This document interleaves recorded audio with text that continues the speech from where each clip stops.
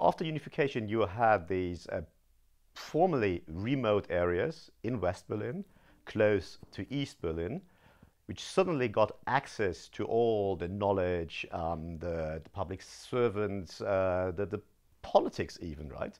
And um, that really spurred development in these areas. You can really show how um, land prices dramatically increased close to the CBD in the western parts of the cities. And that really reassures us that what we are picking up here is an origin originally um, uh, uh, uh, from density coming effect.